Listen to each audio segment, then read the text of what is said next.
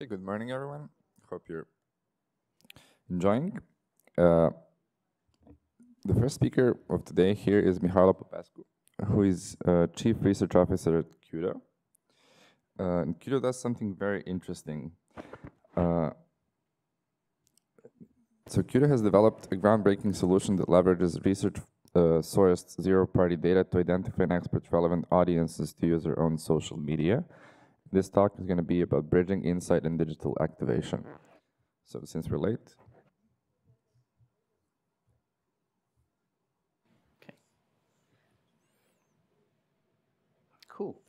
So how many of you here in the audience have um, a cupboard full of uh, candies, chocolate at home?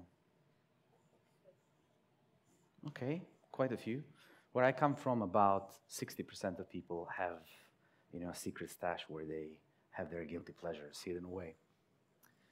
Imagine if one day you reached out to your, you know, stash with your candies and there was nothing left. And then you said, okay, fine. Well, I'm just going to pop to a corner shop to, to get some more. And guess what? The shelves were empty. And this happened to everybody in the country it would be a, a nationwide crisis. Something like this is actually happening to marketeers. The third party cookies are going away. In 2004, all the major browsers will, will discontinue them. So the marketeers are essentially going to have an empty jar. They will have to go and figure out how they find the audiences and engage with them. This is where we stepped in. We built the first precision activation engine, and we are setting ourselves and building systems to help marketeers actually tackle that crisis. So we built the first precision activation engine, and today Journeys is going to be centered around what it is and what it means and what it can do and what it actually does. So thank you very much for coming this early. My name is Mihajlo Popesku, uh, and I'm from a company called Qudo, which is a nickname for Questionardo. I'm a marketing scientist by profession, and this is similar to a data scientist. I'm helping companies to understand consumer complexity. I'm using research, first and foremost, to generate the data, and then data to get answers to those difficult questions. By and large, I essentially measure and model latent phenomena, like decision making, what drives someone's loyalty, what drives purchase, and also what deters someone from purchasing or using certain products and services. I was a former university professor.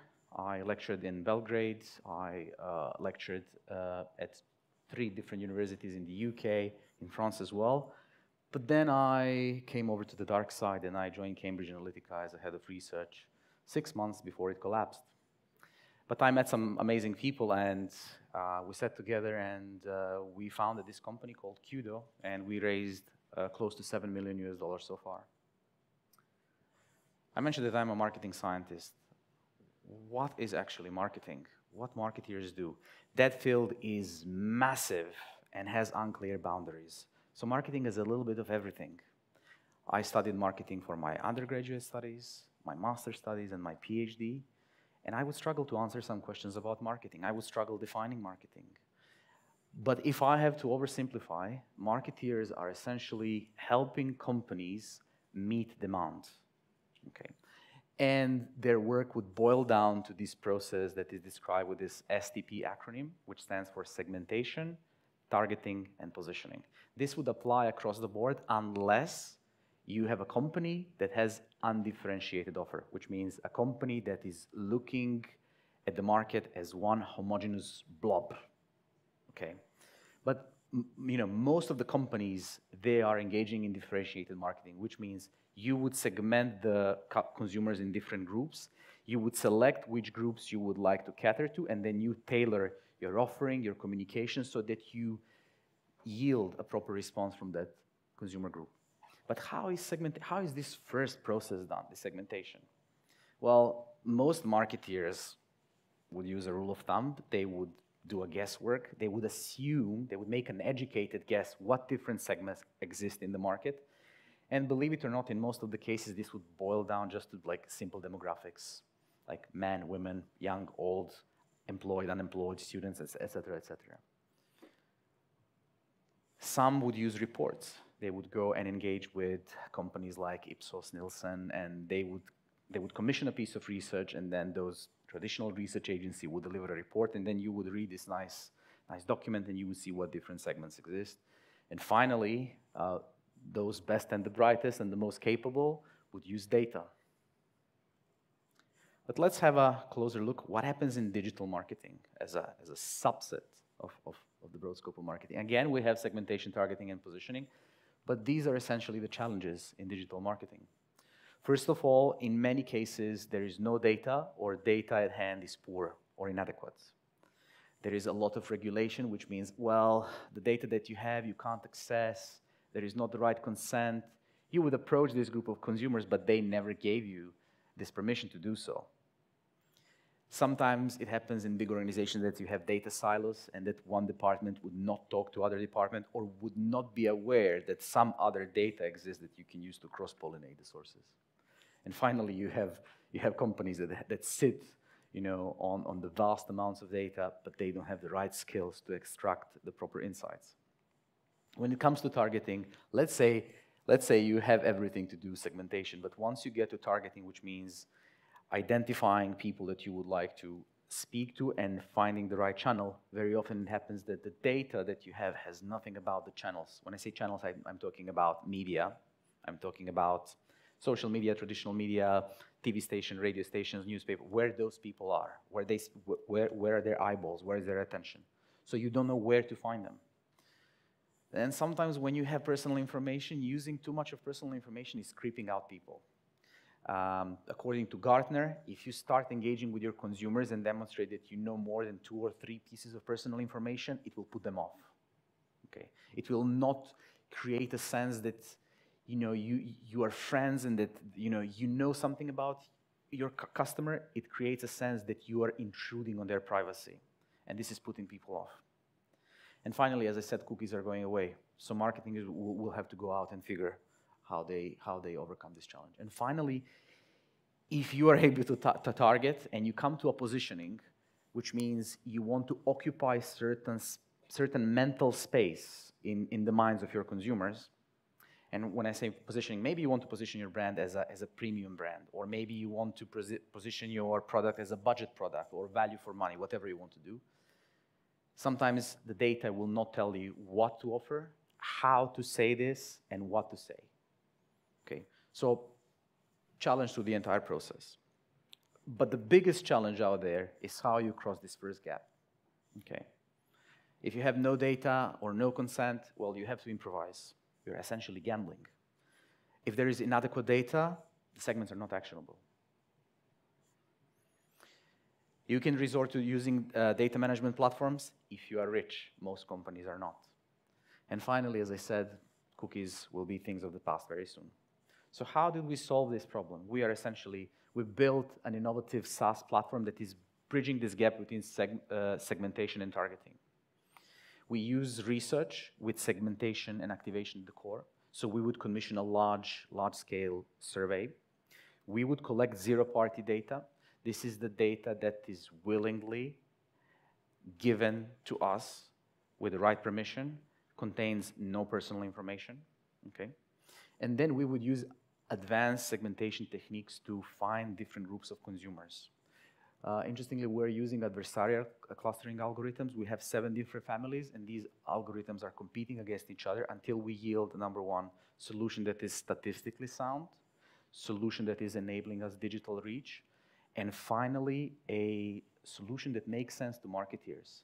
Sometimes solutions that have great statistical properties, when you start looking at the personas, makes no sense. So we have to find the right balance because marketeers have to know how to engage with these people. So the persona has to make sense.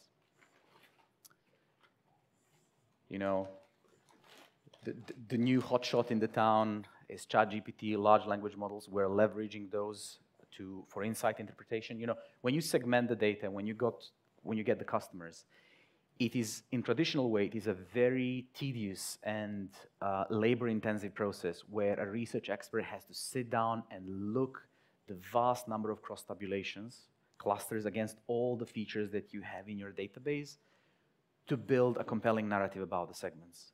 So we would sit down and write these personas and thinking about how we name them with, with ChatGPT, you can essentially feed the outputs of your chi square test directly into, into, the, into the algorithm. And then ChatGPT would, number one, write up the persona, and number two, name the persona. Okay. Ultimately, the task of our data science team in our company is to retire research team. Remove human from the process. Let expert just oversee what the machine does. And so far, we had great results. Then once, this, once, once we decided, once the personas are written up, the algorithms are then isolating what are the targeting criteria that uh, marketeers can use. Now, this is an interesting part. One thing is a questionnaire. We design a questionnaire with segmentation and targeting in mind, but all of our questions are mapped against targeting criteria on Facebook and Google and now TikTok. What does it mean? If you are answering one question about what are your hobbies, I learn from that what I can use to target you. So, for example, sometimes you saying that you are into, let's say, uh, hiking. Okay, I immediately know that, for example, you like mountains, you like outdoor activities. So that one answer leads me to three or four different targeting criteria.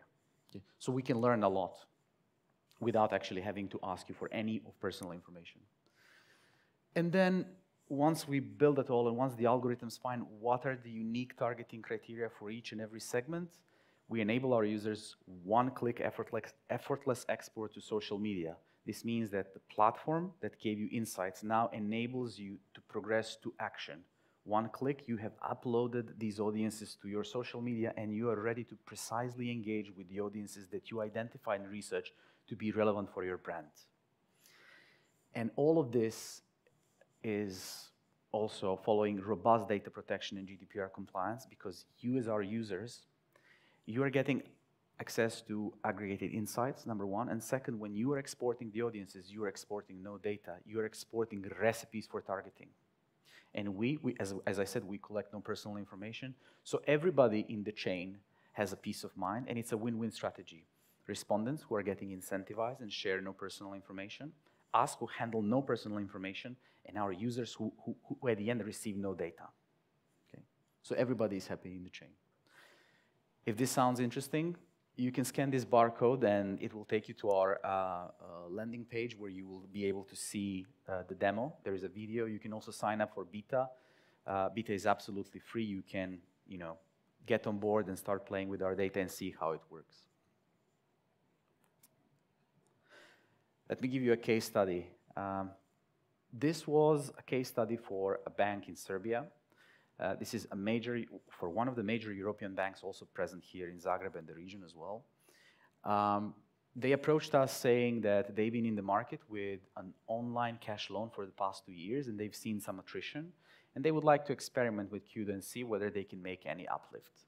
It was obviously a, a, challenging task because we were facing potentially shallow market. Maybe they depleted the demand. We didn't know.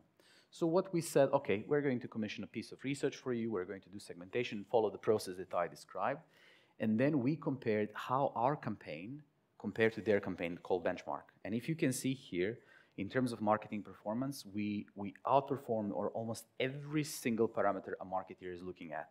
For example, we had five times, we drove five times more traffic to their website, and the click per, the cost per click was 70% less. So more traffic at less cost. Sounds good. But the marketeers, they want conversion. This is what we, what we managed to do.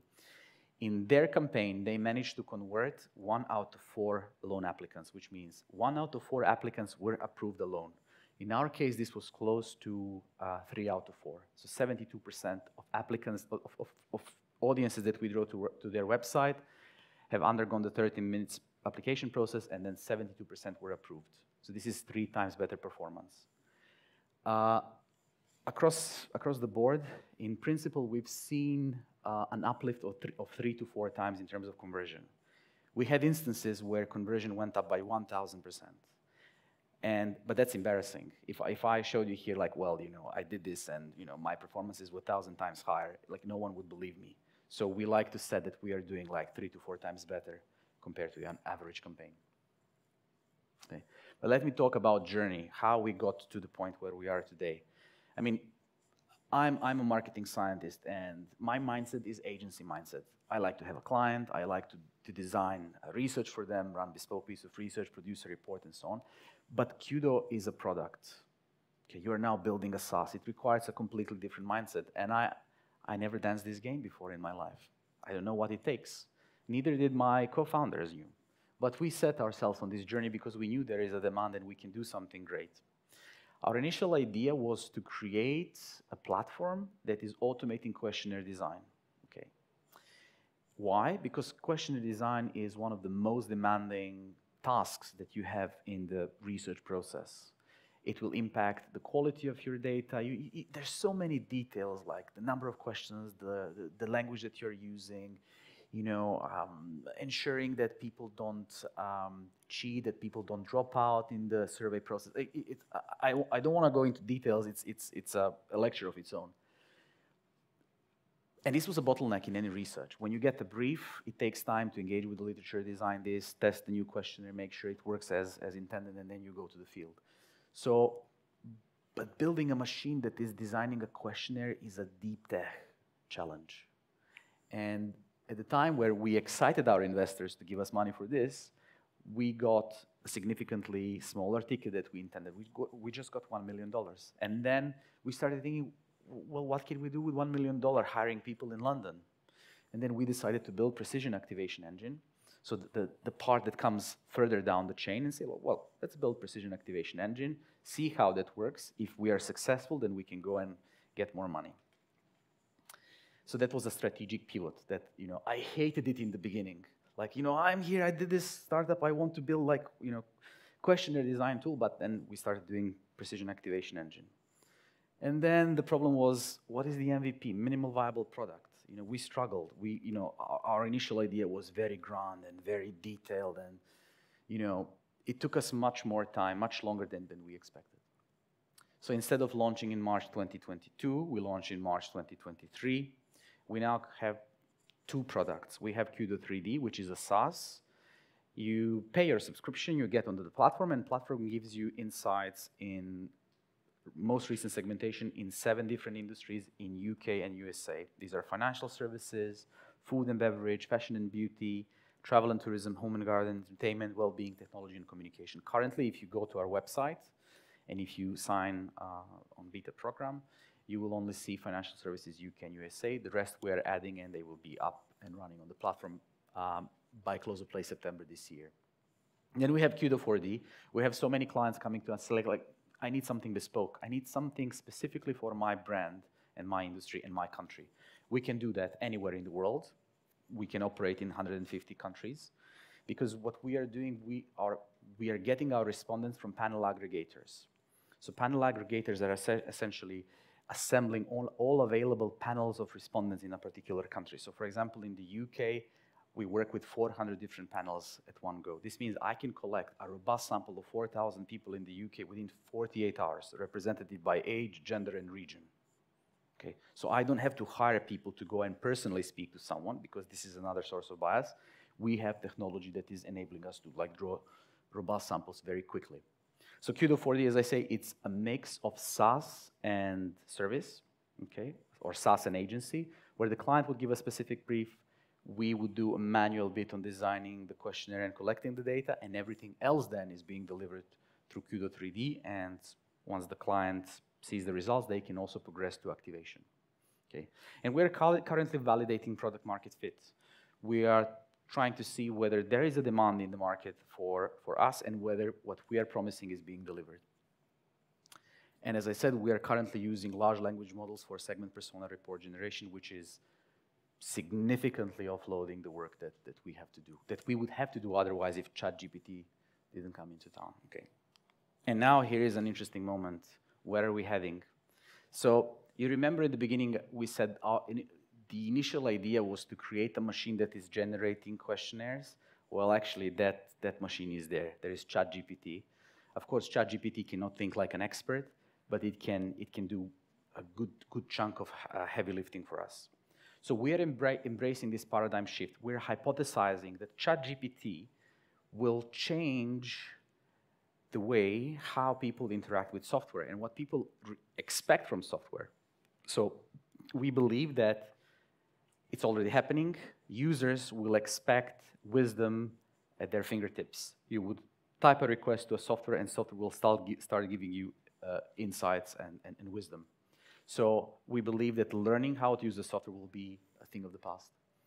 So what we're currently building is chat to segments, the chat to data feature. Chat to segment means we're feeding all the background information about certain segment, and then you are able to query the data using natural language. You don't have to go through the spreadsheets. You don't have to use dashboards.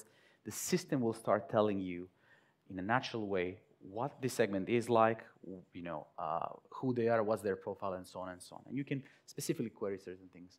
And then another thing, because we started first with financial services, and we realized that our potential clients want something else. So, for example, we had a case with a major fashion brand saying to us, What do you know about runners? And I said, Well, actually, I have just a data set about financial services in the UK. Uh, I can conduct a, piece of research for you. They said, like, no, we need, we need insight right now.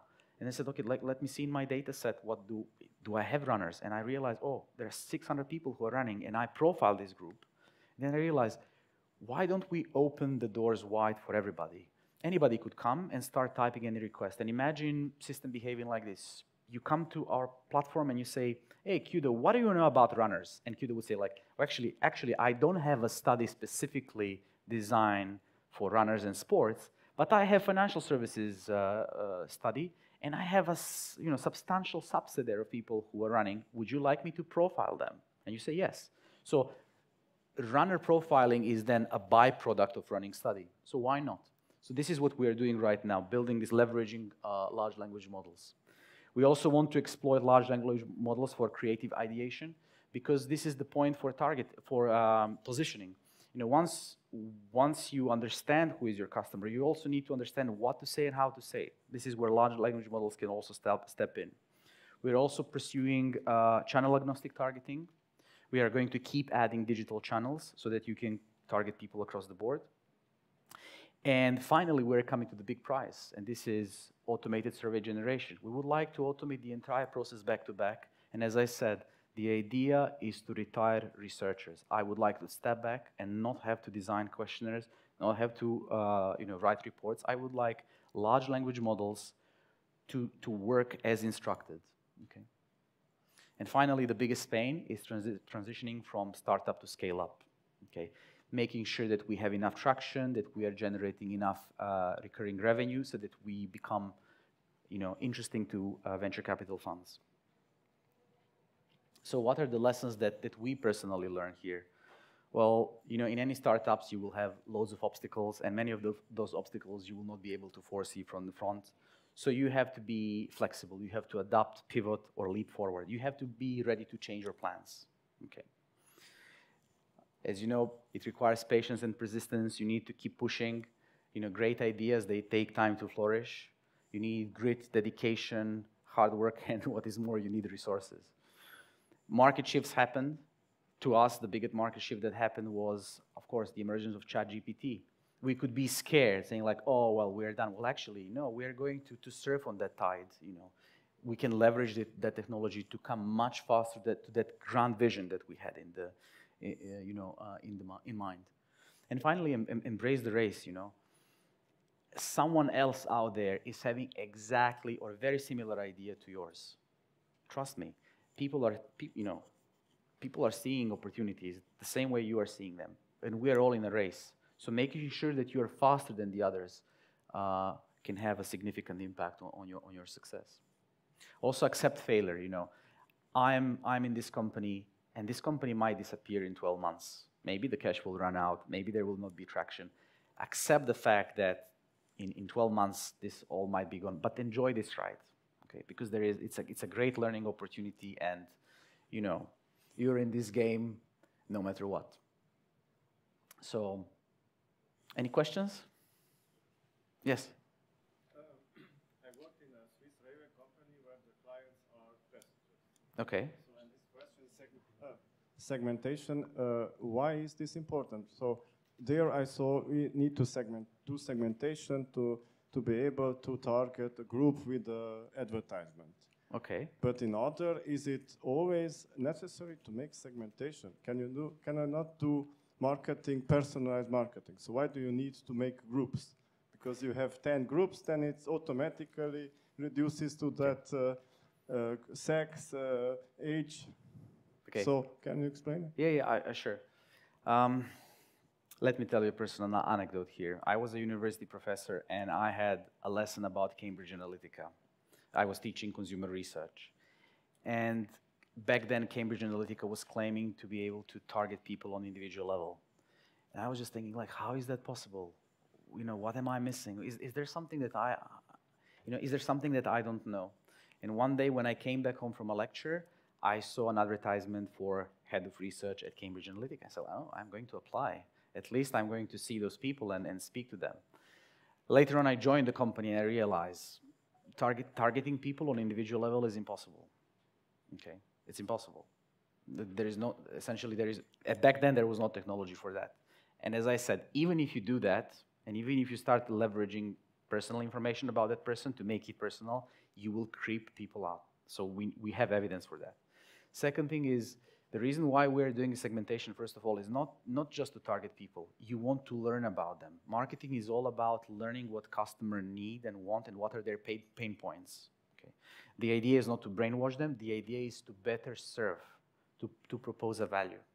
So that's a constant learning loop. This tool is not, is not only for targeting. It's first and the foremost insight platform. You keep learning. Every three months, we're updating our insights. So the marketeers are able to understand what are the shifts in the market, what are the emerging trends, what is you know fading out, and so on. So I guess the point here is targeting people in this way will have better performance for marketeers because you will have an educated approach how you are addressing the market. Yeah, that, that's, that, that's the ultimate idea.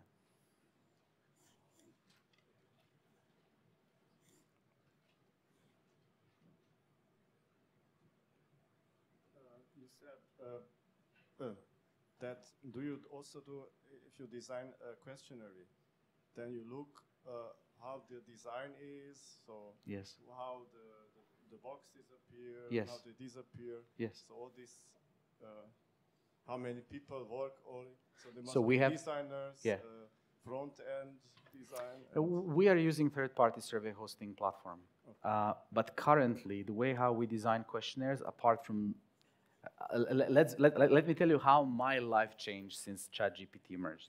Previously, when I'm designing a questionnaire, I would look at the scientific literature. I would see what theories are explaining that particular domain of consumption. Let's say consumer loyalty. For example, there is a, there is a framework called uh, loyalty ladder, and then they would explain different group of users and what is driving their loyalty, what is preventing their loyalty. And I would leverage those those frameworks and theories to, to inform my questionnaire design. Of course, I would have to do desk research to understand in that particular market what is driving consumption, what is driving loyalty, who are the competitors, and so on and so on. And then I would manually design the questionnaire um, in, let's say, Google Docs, and then I would transfer this to um, a platform like Qualtrics or, or, or Alchemer. You know, you, you are then scripting. But how my life changed, this is how it happens. A client gives me a brief, I upload this brief to ChatGPT and say, ChatGPT, tell me which theories are relevant for this, for this marketing problem. And then ChatGPT spits out 10, 10 theories. Oh, okay, I know what's the game here now. ChatGPT, using this and this theory, design a question that will, that will cover theme A, theme B, theme C, theme D. Puff, he spits out the questionnaire. And I say, okay, I'm an expert here this is fine. And then I, I adjust this questionnaire. So previously from a month, I'm now designing questionnaires in two or three days. Okay. This is how it made my life different. So there is three people will soon be four who are doing this, this, this thing. And this is a case of bespoke studies. We have our industry-specific research, which is we design questionnaire once, and then we don't have to review it for at least a year. So like this questionnaire is just being renewed every three months. The survey is being deployed over and over again. And the data set augmented. So ultimately, the, the, the, segmentation that you see on our platform is containing the last 12 months of data, which is 16,000 respondents per industry, per country. Yes? Uh, you said you are using panels in UK and Yes. in US. Yes. Um, do you think that there represents uh, audience, online audience in those countries? Yep. So if I use one panel, I would be, so first of all, let's explain what are panel, what panels are for, for those of you who, may, who might not know. Panels are directories of people who voluntarily opted to receive surveys and they're being incentivized, they're being paid to do so. If you're using one panel at a time, that's a problem because you will inherit the bias of drafting people into the panel. Maybe some people are, maybe some panel companies are recruiting people from Twitter only. Some will go to supermarkets. Some will put advertisements in newspapers. But if you are pooling respondents from 400 different panels at once, what happens is that these biases are slowly being wiped out.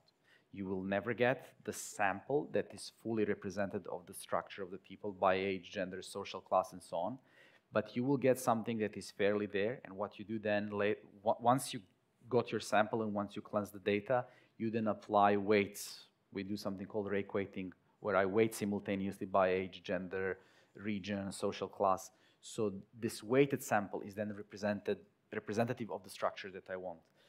I also argue one thing, that in life three times you, three things you can't escape, okay? You can't escape taxes, death, and bias in research. So I always expect there will be bias in research. I'm not saying like, oh, this is perfect, but the thing is, is it useful? And we are showing in, in practices that, that like segments built through this approach is useful because you see an uplift in your marketing. Okay, thanks. Cheers. So uh, if a client of yours has uh, data about his customers and uh, an IT system with reports, how do you integrate? Is this a big issue to uh, send the data to the client to be interpreted in their IT system? So is, is We, we don't share the data with the client. I mean, what do you say? Uh, what is the uh, if you're if a bank, a financial Institution. okay? institute is your client? Yes. What you give for for them? Insights and recipes how to target segments. They don't get data from us. They don't get any No, reports. not they get insights in terms of dashboards. We But don't produce we don't produce like physical. phys- uh, I if- mean, if you don't send them data. You show only on your platform. Yes, they log into the platform, they see the charts, and if they want to target, they have integration with their social media, and then our platform exports recipe for targeting. Okay. Set of targeting criteria per segment.